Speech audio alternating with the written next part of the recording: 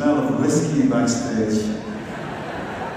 Call it spirit, call it Tao, call it what you will. There's a close connection between the unknowable and the dreams of a songwriter.